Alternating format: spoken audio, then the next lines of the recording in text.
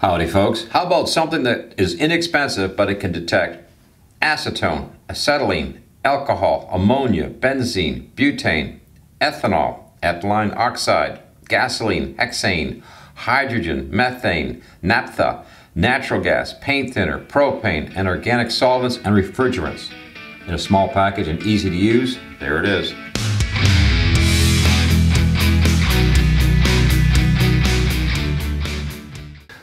Back. Boy, that thing will detect a lot of things. Last month, we uh, it looked like the government was going to come down on anyone using a natural gas uh, line for a uh, cooking stove, you know, like it was going to become outlawed or something, and even stop the sale of them and stuff.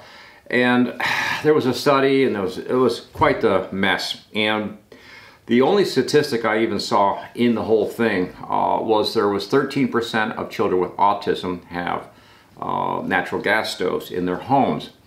There's over 40 million natural gas stoves in American homes right now. So that was kind of like, you know, I don't know how to feel about all that with the statistics, especially statistics. You can't ever really trust them anyways. But uh, the chemicals and something like this that detects it, or a leak in this case too, uh, is something, you know, maybe we need to consider this because I no sooner got into this and we saw train derailments that had horrendous amounts of uh, fumes and toxic chemicals just flying around the air. So it would be almost nice to say, you know, hey, well, you know, I've got something that'll detect better than my nose, you know, and check these things out. But you saw the long list. There's a lot of leakage uh, especially like myself around the car sometimes doing auto repairs, you know, gasoline leaks sometimes. I don't always smell it, but this thing will detect it and find it in a hurry. But also the natural, the whole natural gas line thing. Uh, I have natural gas here. I have a natural gas cooking stove, you know, yeah. So I, I was really uh, surprised about that whole situation with uh, them trying to, you know, stop the sale of them because I, you know, we used to, we were told it was the what the cleanest form of energy and uh, burn cleaner than anything else. And they don't really. Uh, there's benzene, there's a lot of other toxic chemicals that are sort of unburnt that come off of using a gas stove inside a home or even a restaurant for that matter. And the thing is, if it's well vented, not like a power vent over top of your stove or something to help suck the fumes out, you're probably not going to be exposed to, you know, much of anything at all. The problem, of course, too, with that is these chemicals, like the benzenes and all that, some of them are heavier than air. So in other words, when they come off that stove, they actually go down lower where children are. So yeah, I can see, you know, there may or may not be a connection or a problem there, but God knows we've had gas stoves since, what, 1920s or something. We've had natural gas in the house to, you know, cook with. And uh, the furnacing is exhausted outside, so there is no fumes. Uh, same with my uh, hot water tank, there's no fumes. It's exhausted outside through a chimney system. You know, there's no, there's no exposure to it. But there's still leaks. So this is to get around leaks. So uh, our friends over there at Top Test sent this over to me and uh, thought we'd check it out, you know, and just see what it can do. I put it near the, uh, I took the gas cap off the John Deere this morning put it near the uh, put it near the, the tank and of course the thing went off to red immediately. But but it also uh, detects other uh, things like the butanes and the you know a lot of other stuff like uh, acetone that sort of thing. So we're going to test it but it's easy to use. It's a really simple function. First you got to power it up of course and it comes with three batteries and it's going to power up right now.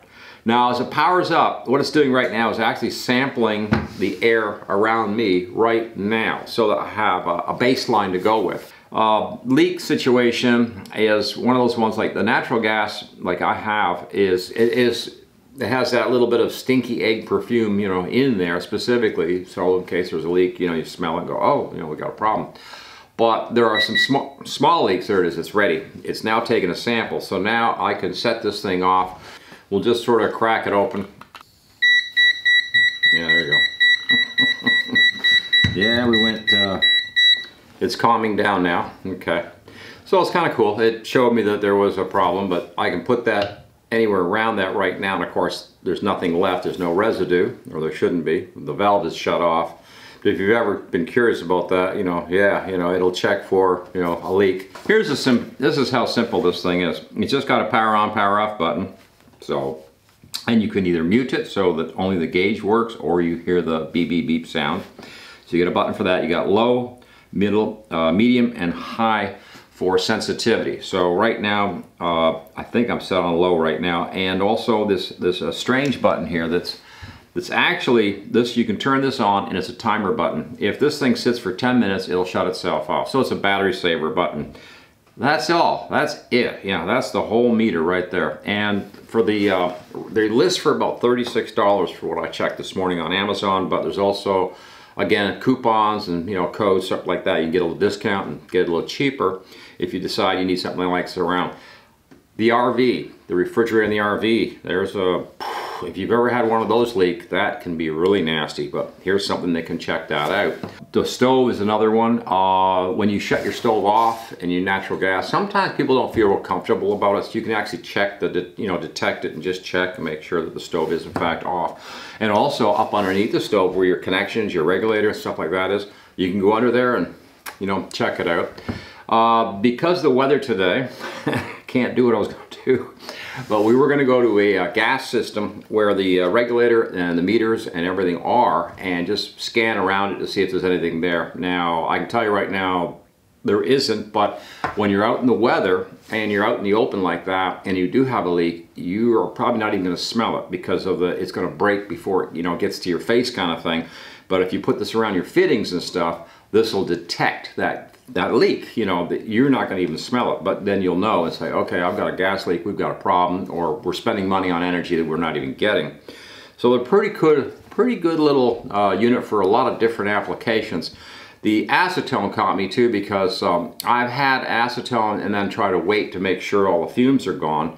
Something like this can check for acetone and make sure all the fumes are in fact evaporated and gone and everything's harmless but also just checks the air in general. So there's a lot of different chemicals, you know, you know, wood shop, any kind of, you know, working environment, but also around commercial applications. There's a ton of stuff that, you know, they could fall in line where something like this would, you know, help you out.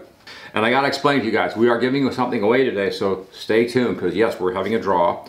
And next Thursday, we're giving something away. I can't imagine what that would be, but uh, yeah, we're giving something away next Thursday. So we'll get into all that in a minute. Uh, just wanted to show you this because it's an interesting product for a very low price. It actually, there's a lot of convenience and a lot of, you know, a lot of things involved these days with what's going on.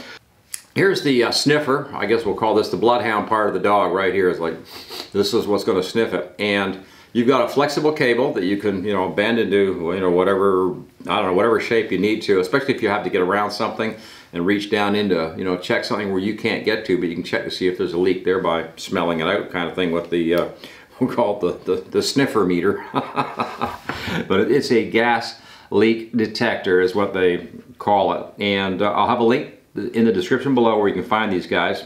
And uh, I'll see, I don't know, I don't know if Top Test is giving us a coupon or deal or something like that. If they are within the next 24 hours after the video is released, check back. Uh, there may be a coupon deal or something posted afterwards to help, you know, to get you a good price on this uh, meter. Comes with the three batteries, some basic instructions that are pretty easy to follow. There's really nothing to it. Put the batteries in, turn the unit on, wait for it to get the ambient air sample, and then you can go ahead and start testing for leaks. On another note, just before we finish, it also does, uh, I noticed it does methane gases, that sort of thing. So uh, if you and the, the wife are watching TV one night and she blames the dog, you just like, you know. yeah. yeah, we thought about testing that today, but uh, that would be tacos and beans or something. Anyways, we got a draw from last weekend for the uh, moisture meter from the same company, uh, Top Test. They sent over a couple extra ones, or at least an extra one to give away. So we're giving away a moisture meter. Yes. And I cut all you guys' names up, entries uh, in tickets. And let's see if I can get them all in here. And we're going to put those in the hat. And yeah, this is a good one. I got mine still out of the box with the batteries in it, so you're getting a, you're getting a brand new one. yeah, that hasn't been dropped yet. Not, not around here. Anyways, we got the uh, tickets here. And let's see if we can't come up with something. And, huh.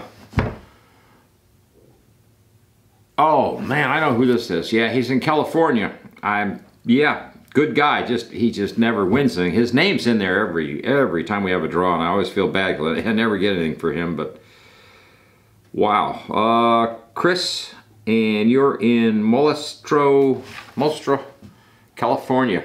Okay, yeah, your zip code is 95355 there, Chris, so you know who you are, buddy. yeah. Man. Chris, you're getting a moisture meter, so you can run around and check all them redwood trees out there in the forest. cool. Now, we have something next for next Thursday, and I Let's see if I can go find it. Yeah, there it is. You see they sent me an extra one. This is actually a brand new one, still in the box, unopened. Yeah. And this is what we're gonna give away next week. To enter the contest for the combustibles gas leak detector from Top Test, uh, boy, easy to use, low, mid-range sensitivity. It'll measure up to 100,000 parts per million. Yeah, yeah, it's ppm. And low battery indicator, 10 minute auto shut off if you want it, visual and audio alert, and pressed for mutes. So, wow, there's your features right there. But uh, we're giving this away next Thursday. And so how to get in on it is you just send an email to uh, ctrewards at gmx.com. Now in the subject line, uh, let's use the word test. That's easy enough, right? Just test, T-E-S-T. And uh, let's see, uh, just your name and address, nothing else. Okay, so just your name and address in the body of the email. That's all we need. So one uh, per household. And next Thursday, we will be giving away the Top Test Combustible Leak Gas Leak Detector. Boy, I'm having, having trouble with that one today. And guys and girls, I will see you next Thursday on that. Actually, Monday, we've got a, wow, wow, we got a lot of cool stuff come in and it's like, and I'm still digging through. So we got a backup again, like always, of new tools and things.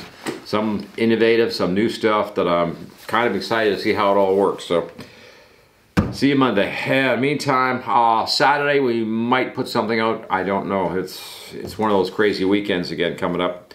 Meantime, uh, be good everybody, will you? okay, over and out.